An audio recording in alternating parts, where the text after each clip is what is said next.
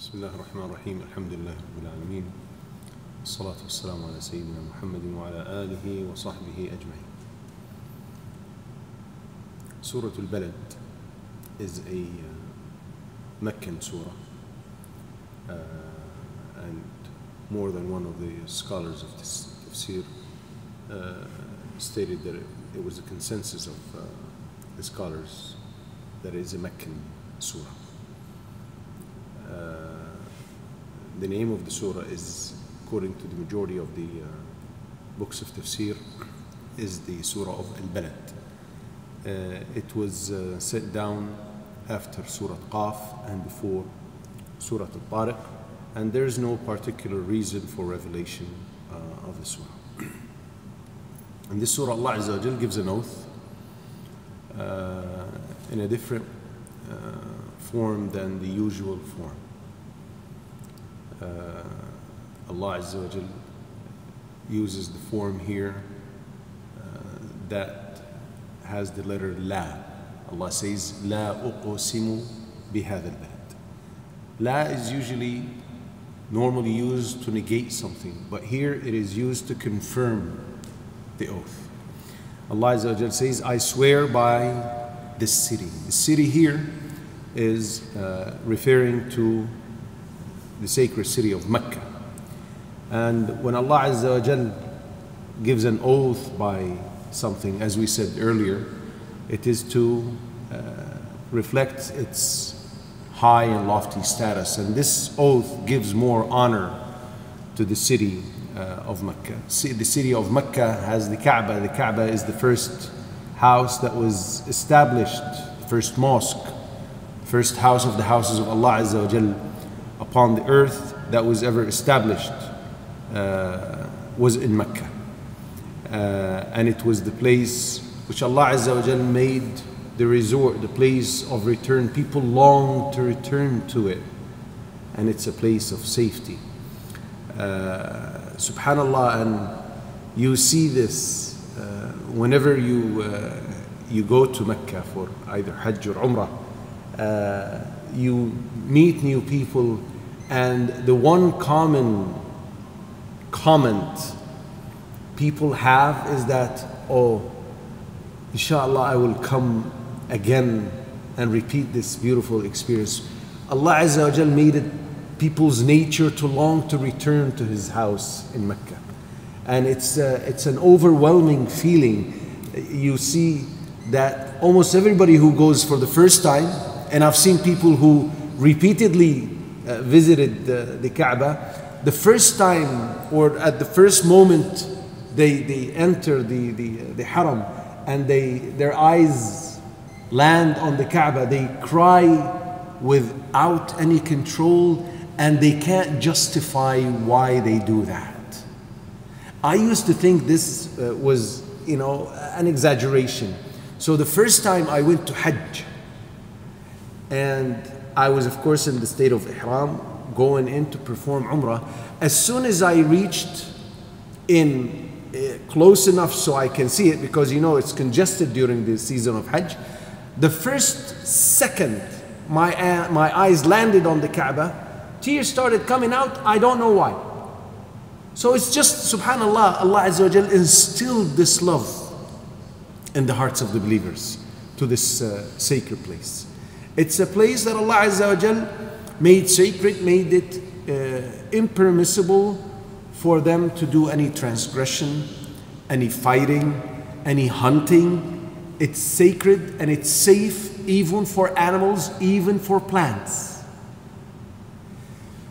Uh, and one very uh, beautiful note which one of the scholars made, he said, Subhanallah, Allah Azza wa Jal chose Mecca for the place to establish the Kaaba, though it's a place in the middle of a desert, surrounded by rocky mountains. It's all rocky. The area is all, there is no attraction. It's not an attractive place. As opposed to placing it in a place where there are greenery, rivers, mountains uh, with flower, whatever, right? Something that's attractive, naturally attractive to the heart, right?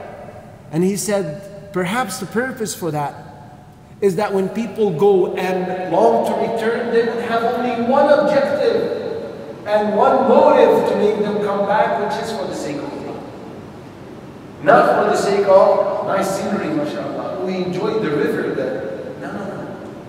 It's a place that has nothing in it that is attractive, except that it is the house of Allah. وأنت حل بهذا البلد وأنت and you addressing Muhammad sallallahu alaihi wasallam and you are حل حل uh, was given different uh, interpretations by scholars. The translation suggests one of them, which is uh, you are free of all restrictions in this city. Now, this is one of the interpretations, is that the Prophet ﷺ, although Mecca is a sacred place, as we said, fighting and, and uh, hunting and cutting trees and plants and all that is haram, is prohibited, yet it was made lawful for the Prophet ﷺ to go and conquer Mecca, which at face value is violating the sanctity of Mecca. But Allah Azza wa Jal made it lawful for him, and the Prophet said, It was made lawful for me for a set number of hours, a, portion of the day only. Right? And if you notice, this is a Meccan surah. This was way before the migration to Medina. So in it is glad tidings for the Prophet ﷺ and the believers who were oppressed. This was revealed during the time of oppression. The, the companions were prosecuted. The Prophet ﷺ was threatened. He was harmed. He was choked. They attempted to kill him. Right? And yet, in the midst of all of this, Allah gives him this good news that it will become lawful for you to fight them, and you will enter it and fight them and take it. And it's a threat to the Meccans, to the Quraysh, that don't go on and continue to deny and belie and reject the message because your time is coming. Now, this is one of the interpretations, right? Another interpretation for the word hil is while you are resident, staying, positioned in Mecca. Now, why would Allah Azza wa Jal mention his residence in Mecca? Now, the, the honor of something is derived from the person. The honor of a place is derived from or increases in its honor depending on who's its resident. So when Muhammad sallallahu is a resident of a place, it becomes more honorable and more glorified in, in Islam. Uh, and by, by swearing or giving an oath by Mecca while Muhammad sallallahu is in it, you see the sanctity of Mecca was not something that was established when, when Muhammad was commissioned uh, to call people for Islam or for the, the path of, to the path of Allah. No, it was sacred before. And the Quraysh knew that. And this is why this is why they used to play around with the sacred months, right? So they won't fight during these sacred months. They knew that it was sacred and the sanctity of Mecca for them was there.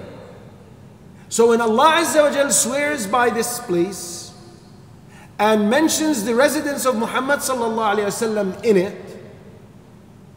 and them knowing this fact that it's a sacred place, and yet attempt to kill him, torture his followers, which means they're transgressing, they're breaching the sanctity of the city, right? Which makes their position uh, look more awful than uh, and normally people would look at it because when you say okay he's he's oppressing x or y people right but when you add to it that he is uh, he's oppressing them in a place he knows he shouldn't be doing it or in a way he's convinced he shouldn't be doing it then his transgression and oppression appears or is exposed to people to be uglier than uh, what he tries to conceal it from appearing to be.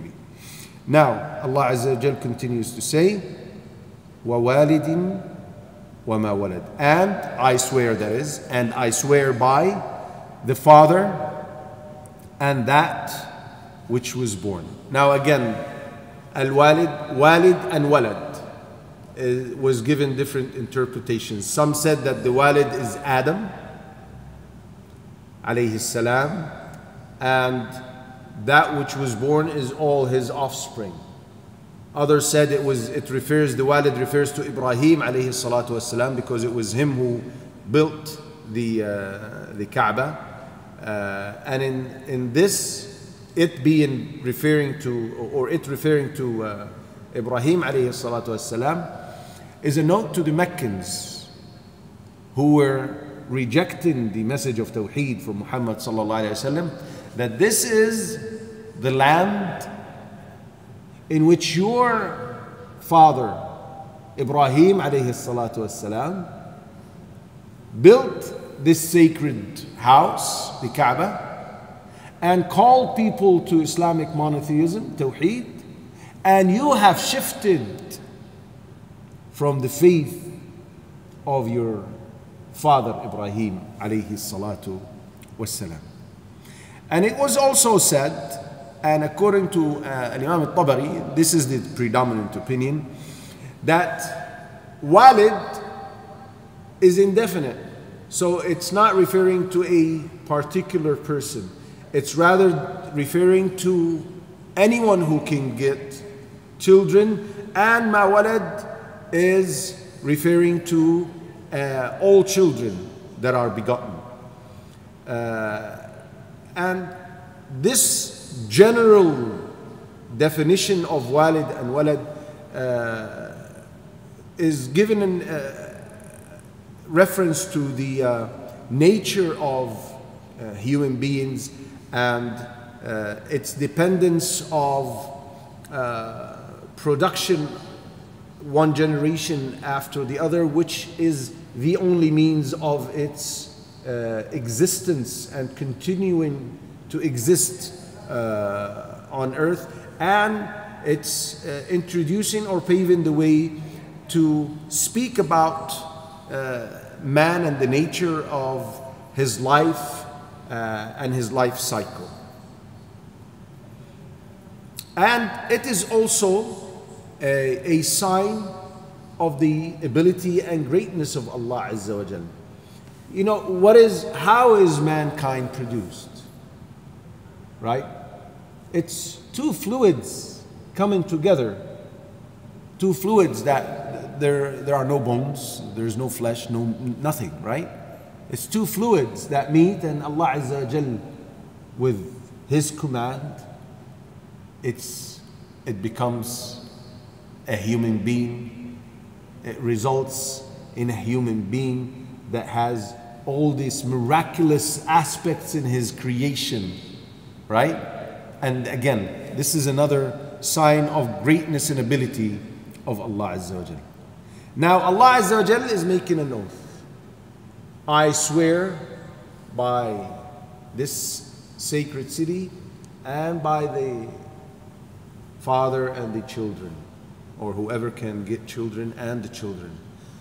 Now the expected thing that Allah Azza wa is giving an oath for, the answer that is, Jawab al-Shart, Jawab al-Qasam is, لقد خلقنا الإنسان في كبد. So Allah is swearing that this is true. What is this? We have certainly created man into hardship. Now, Allah Azza wa Jal gave an oath to confirm that the nature of humans' lives is that it will entail hardships and difficulties. Whether they are believers or non believers, whether they are righteous people or sinners, everybody goes into this life and has to go through the path of hardship regardless of the level of severity of this hardship. But everybody suffers from something. And take this from the beginning of the journey until the end of the journey. From the time one is created in the womb of his mother, he lives in tightness. He's dependent on his mother, right? and then he goes out. He's still dependent and he wants to suckle. And then he struggles crawling, and then he struggles walking, and then he struggles talking. And then he grows up as a teenager with all the pressure a teenager goes through, and then life goes on with hardships. If you're not tested with your health, you're tested with your wealth. If you're not tested with this, you're tested with your wife. If you're not tested with your wife, it's with your child, with your father, with your mother one way or another, you will be tested. Until the moment of death, as the Prophet ﷺ was saying when he was on his deathbed, Subhanallah, inna lil mawti sakarat. Subhanallah, death has hardships. You go through a lot of hardships when you're dying suffering. And the believer will not rest until he sets his foot in Jannah. We ask Allah to make us amongst them. The difference between people is that a believer or a righteous person struggles in this dunya to attain comfort and ease in the hereafter. Whereas the miserable disbelievers or sinners who transgress the boundaries and limits of Allah will suffer here and there. With the difference between the disbeliever and the sinner, that the, the uh, disbeliever is eternal in misery and, and, and hardship and punishment in, in the hereafter, whereas the believer will be suffering for a, a period until he is purified from his sins and deserving of Jannah. But again, he will go through hardships in the hereafter. So, this is the difference between uh, the two types of people. One thing in common is that they're all suffer, they'll all be tested, but the consequence of that uh, is what differs. Now, and this is a lesson to the first believers who were addressed initially with the Quran and to us, the followers of this great faith, is that you are, you'll be tested just like the, other, the others are being tested, right? So you're equal in, in this aspect or in this regard. But rest assured, your consequence, your fate is different you're being promised in return for persevering and maintaining yourself firm on the path that you will get the prize you're being promised, which is Jannah, the pleasure of Allah Azza wa Jal. Seeing Allah Azza wa Jal in Jannah. We ask Allah Azza wa Jal not to deprive us from seeing His face on the day of judgment. Allahumma ameen. Another thing uh, that's very beneficial in, in, in remembering this, the, the nature of life, is that it helps the believer uh, be content regarding the decrees of Allah, the qada and qadar. Uh, it makes the qada and qadar much easier to accept and, and deal with and live with, right? When you know that this is simply the way Allah created mankind, right? Uh, it makes it much easier for you to accept the qadr of Allah Azza wa Jal. When Allah Azza wa Jal says, ما أصاب من مصيبة في الأرض ولا في أنفسكم إلا في كتاب من قبل أن نبرأها إن ذلك على الله يسير لكي لا تأسوا على ما فاتكم ولا تفرحوا بما آتاكم والله لا يحب كل مختال فخور. No disaster strikes upon the earth or among yourselves except that it is in, a, in a register before we bring it into being. When you firmly believe that everything was recorded in this register 40,000 years before the creation of mankind or before the creation of all beings, right? It makes you content. Okay, this is happening regardless of what my reaction is, so I better have a good reaction so I don't lose out on the reward. Because if I'm dissatisfied and if I'm not, if I'm not content with the decree of Allah Azza wa Jal, I lose out on the reward and I become deserving of the wrath of Allah Azza wa Jal. As the Prophet ﷺ said, وَمَنْ سَخِطَ فَعَلَيْهِ السَّخَطَ And he who is displeased will become deserving of the wrath of Allah Azza wa Jal. عِيَاذًا بِاللَّهِ In order that you may not despair over what you fail to get, it's a decree. You wanted to marry this girl.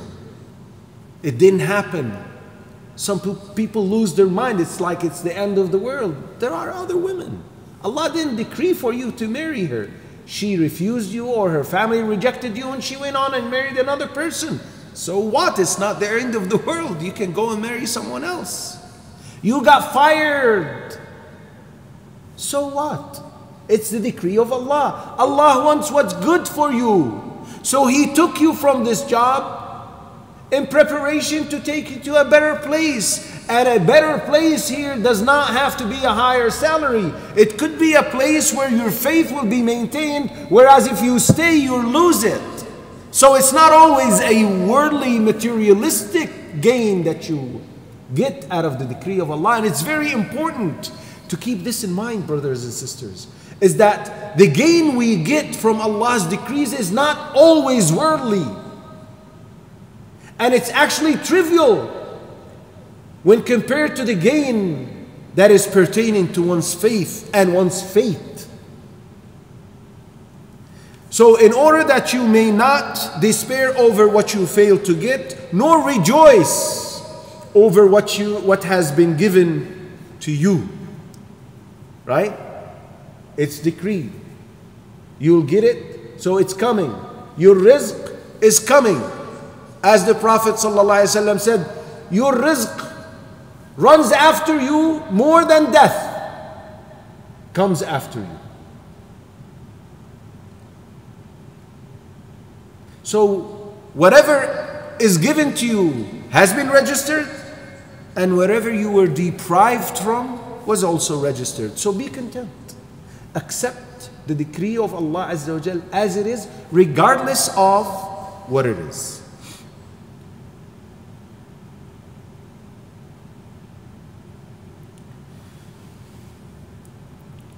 Then Allah Azza wa Jal, Allah Azza wa Jal goes on to say, أيحسب أن لن يقدر عليه أحد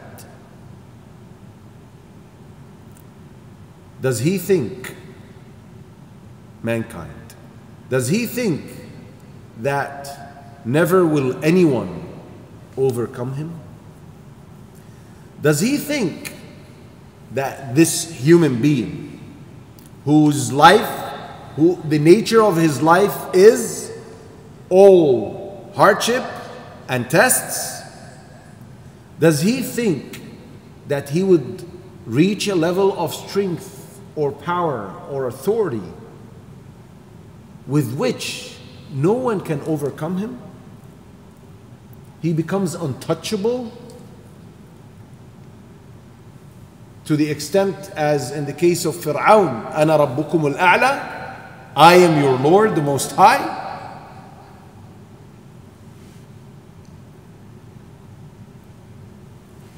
And this is uh,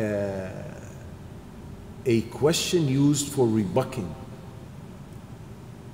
that the one who created you from nothing, from a drop of sperm, and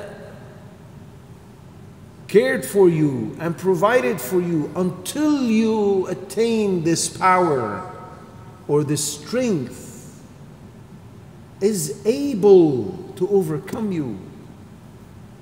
Allah can overcome us with many things and in different ways. One of the ways is death. Another simpler form is illnesses. Haven't you seen athletes, bodybuilders, boxers, martial art experts, masters, senseis, right? They grow old or they get a disease or they get paralyzed or whatever. They get a, a, a kick or a, a punch or something that makes them lose their control over their senses or become totally paralyzed and totally dependent on someone even to take them to the bathroom. So, this is one of the ways Allah overcomes mankind. Hunger is a way of overcoming. Lack of sleep. Many people cannot go to sleep and take sleeping pills. Many people become deceived when they reach a certain uh, level of, of uh, strength, physical strength, or power, or authority, or wealth. And uh, they go into the deception of, I am it.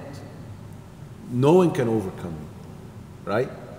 And Allah Azza wa Jal uh, and they start acting like this. And they try, they start transgressing and oppressing others. Just like the Quraysh saw that they were so powerful that they had the right to set their hands free in torturing and uh, persecuting the, the followers of Muhammad sallallahu alaihi wasallam. Right? Allah Azza wa says in the Quran,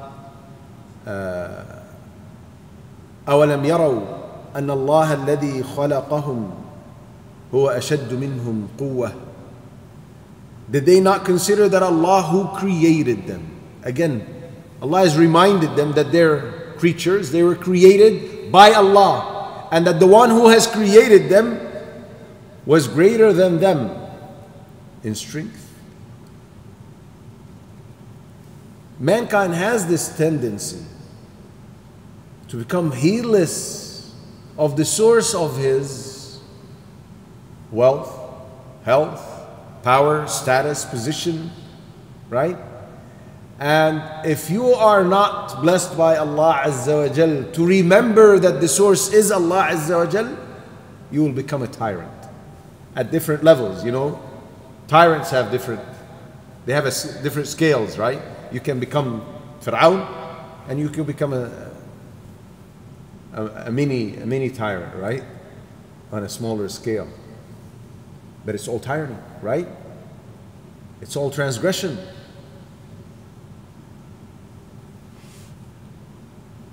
يقول أهلكت مالا لبدا He says, this arrogant mankind who forgets the source of his wealth, health, power, so on, he says, I have destroyed abundance, wealth. Notice that Allah did not use the word spent. Allah said destroyed. And this is how arrogant people usually are.